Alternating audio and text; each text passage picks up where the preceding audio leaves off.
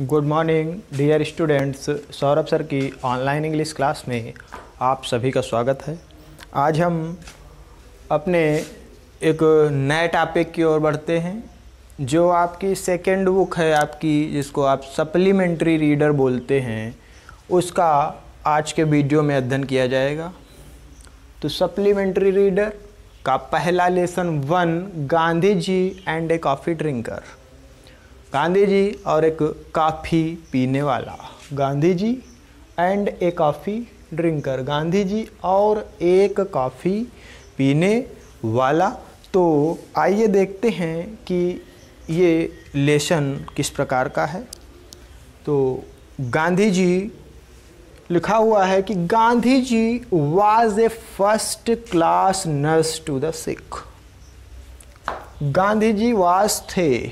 ए, एक first class माने प्रथम श्रेणी। फ़र्स्ट क्लास मीन्स प्रथम श्रेणी के नर्स माने परिचारक। नर्स मीन्स सेवा करने वाला नर्स मीन्स परिचारक टू द सिक रोगियों के लिए। तो गांधी जी रोगियों के लिए प्रथम श्रेणी के परिचारक थे।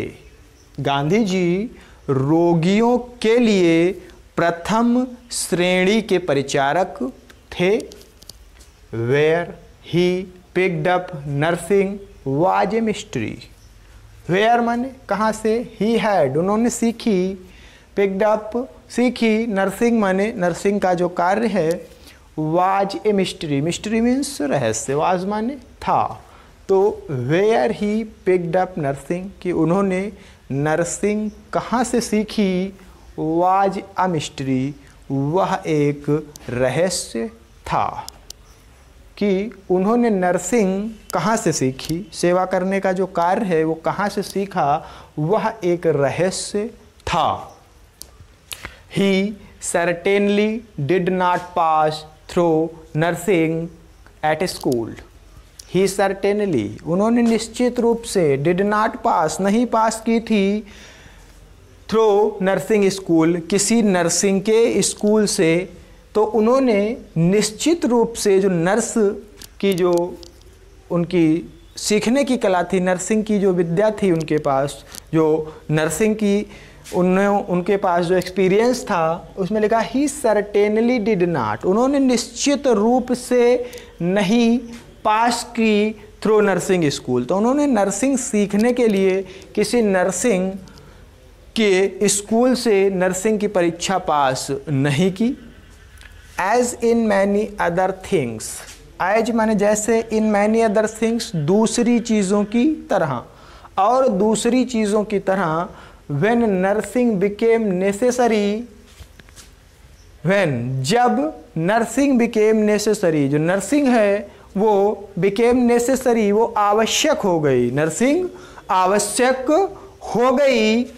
He learn it the hard way of experience he learn उन्होंने सीखा इट इसको the hard way of experience अनुभव के कठिन तरीके से। तो जब नर्सिंग उनके लिए ज़रूरी हो गई, आवश्यक हो गई ही लर्न इट उन्होंने इसको सीखा the hard way of experience अनुभव के कठिन तरीके से। द हार्ड वे कठिन रास्ता एक्सपीरियंस माने अनुभव। तो इसको उन्होंने अनुभव के कठिन रास्ते या कठिन तरीके से सीखी इन द आश्रम। आश्रम में एट साबरमती। साबरमती के आश्रम में आल सिक पर्सन्स के आल सिक पर्सन्स जितने भी बीमार व्यक्ति थे, जितने भी बीमार व्यक्ति थे come directly under his eye and care वो डायरेक्ट माने सीधे ही उनके आँखों के सामने आते थे।